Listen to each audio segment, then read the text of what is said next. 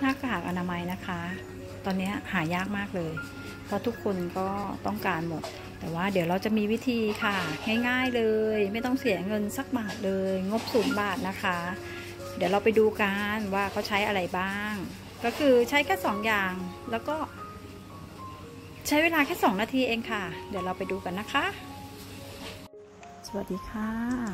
เรามาดูกันเลยนะคะ ต้องขอบคุณเจ้าของภาพนะคะที่แนะนำวิธีดีๆ มาให้โดยที่ไม่ต้องเสียตังค์เลยนะคะ จะกลับบ้านละอุ้ยนึกขึ้นมาได้ ช่วงนี้มีไวรัส เดี๋ยว ขอเอาไอ้นี่เลยละกันผ้าเช็ดหน้าเรานี่แหละ เดี๋ยวเอามาทำเป็นหน้ากากดีกว่าผ้าเช็ดหน้าผืนหนึงกับยางมัดผมสองอันนะคะ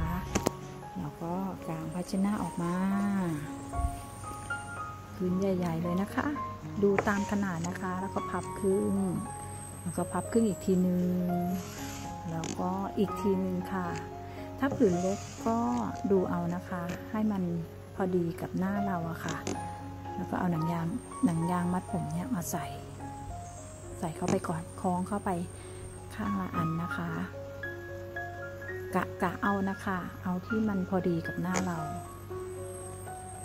แล้วก็พับเข้ามาอีกทีนึง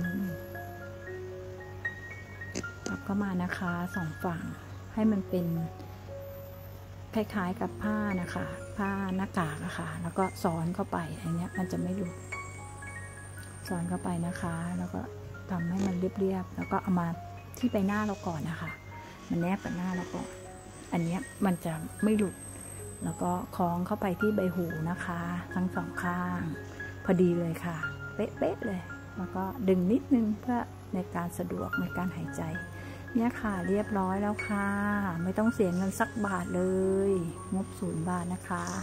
ยังไงก็ขอบคุณน้องที่มาแนะนำมาให้นะคะ ขอบคุณมากค่ะ วันนี้ลาไปก่อน สวัสดีค่ะ